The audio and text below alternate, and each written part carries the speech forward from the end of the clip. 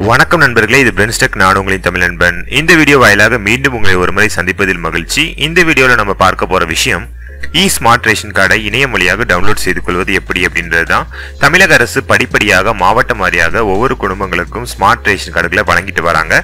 சில குடும்பங்களுக்கு இன்னும் ஸ்மார்ட் ரேஷன் கார்டு கிடைக்காமல் இருக்கலாம். சில குடும்பங்களுக்கு கையில் கிடைத்திருந்தும் தங்களுடைய குடும்ப விவரங்களை வந்து சரியில்லாத காரணத்தினால திருத்தம் செய்திருக்கலாம். ஸோ அவங்களுக்கான ஒரு நல்ல ஆப்ஷனாக வந்து தமிழக அரசின் அதிகாரப்பூர்வ பொது விநியோக திட்டத்தின் இணையதளமான TNPDS dot gov dot in அப்படின்ற இணையதளத்தில் ஸ்மார்ட் ரேஷன் கார்டுகளை இ வடிவில் அதாவது பிடிஎஃப் வடிவில் வந்து டவுன்லோட் செய்து கொள்ளும் வசதியை வந்து அறிமுகப்படுத்தியிருக்காங்க. அது எப்படி பயன்படுத்துவது உங்களுடைய ஸ்மார்ட் ரேஷன் கார்டை எப்படி டவுன்லோட் செய்து கொள்வது அப்படின்றத பற்றி இந்த வீடியோவில் பார்க்க போகிறோம் இந்த வீடியோவை தொடங்குறதுக்கு முன்பு தான் நம்ம சேனல் இது வரைக்கும் சப்ஸ்கிரைப் பண்ணாத நண்பர்கள் கீழே உள்ள சப்ஸ்கிரைப் பட்டனை ப்ரெஸ் பண்ணி சப்ஸ்கிரைப் பண்ணிக்கோங்க. வாங்க இன்றைய வீடியோவை தொடங்கலாம்.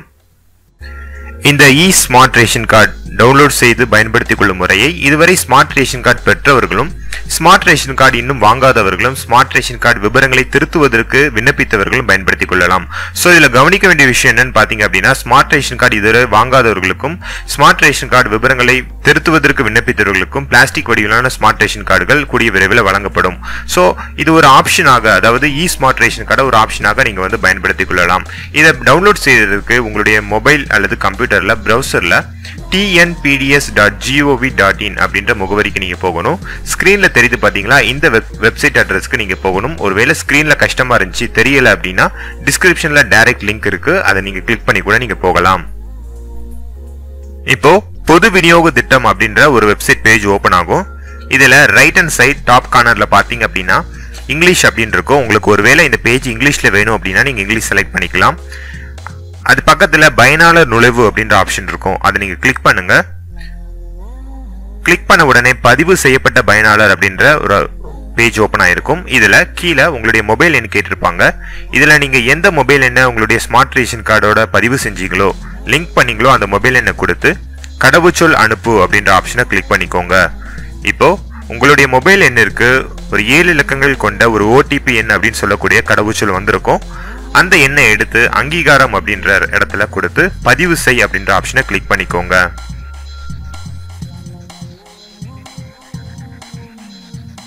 ஓகே இப்போ நீங்கள் அதை பதிவு செய் அப்படின்ற ஆப்ஷனை கிளிக் பண்ண உடனே உங்களுடைய ப்ரொஃபைல் பேஜ் ஓப்பன் ஆகும். உங்களுடைய ஸ்மார்ட் ரேஷன் கார்டுக்கான ப்ரொஃபைல் பேஜ் இதில் லெஃப்ட் ஹேண்ட் சைட் பார்த்தீங்க அப்படின்னா நிறைய ஆப்ஷன்ஸ் இருக்கும். அதில் நிறைய மெனு இருக்கு இல்லையா? அதில் மூன்றாவதாக அல்லது அதில் தேடி பார்த்தீங்க அப்படின்னா ஸ்மார்ட் கார்டு அச்சு அப்படின்ற ஒரு ஆப்ஷன் இருக்கும். ஸ்மார்ட் கார்டு பிரிண்ட் அல்லது ஸ்மார்ட் கார்டு அச்சு அப்படின்னு இருக்கும். அதை கிளிக் பண்ணிங்க அப்படின்னா அச்சிடு மற்றும் பதிவிறக்கம் அப்படின்ற ஒரு ஆப்ஷன் ஓப்பன் ஆகிருக்கும் இதில் மொழியை தேர்ந்தெடுக்கும் அப்படின்னு சொல்லி டிஃபால்ட்டாக தமிழ் இருக்கும். உங்களுக்கு ஒருவேளை உங்களுடைய விவரங்கள் வந்து ஆங்கிலத்தில் வேணும் அப்படின்னு நினச்சிங்க அப்படின்னா தமிழ் அப்படின்ற கடத்தை கிளிக் பண்ணி நீங்கள் இங்கிலீஷில் மாற்றி டவுன்லோட் பண்ணிக்கலாம். ஸோ நான் தமிழ்லே டவுன்லோட் பண்ணுறேன் இப்போது அச்சினங்கள் பதிவிறக்கம் அப்படின்ற ஆப்ஷனை கிளிக் பண்ண உடனே உங்களுக்கு பிடிஎஃப் வடிவிலான ஒரு பேஜ் வந்து டவுன்லோட் ஆகும். ஸோ இதுதான் உங்களுடைய ஸ்மார்ட் கார்டு விவரங்கள். இந்த பேஜை வந்து நீங்கள் ஓப்பன் பண்ணி பார்த்தீங்க அப்படின்னா உங்களுடைய விவரங்கள் இருக்கும்.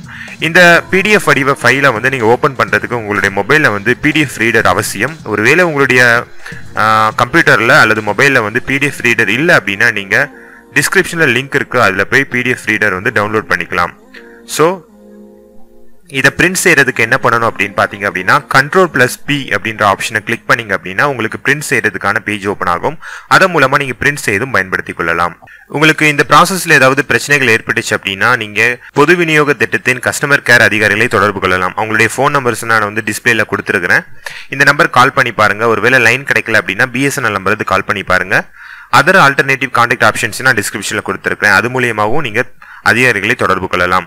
மேலும் ஸ்மார்ட் ரேஷன் கார்டு பற்றின அநேக வீடியோக்கள் நம்ம சேனலுக்கு பார்வையிடுங்க. இது இந்த வீடியோவில் ஏதாவது சந்தேகங்களும் கேள்விகள் இருந்துச்சு அப்படின்னா நீங்கள் கமெண்ட் பாக்ஸில் கேளுங்க. மேலும் இது போன்ற அநேக பயனுள்ள வீடியோக்களுக்கு நம்ம சேனலை சப்ஸ்கிரைப் பண்ணிக்கோங்க. நன்றி வணக்கம்.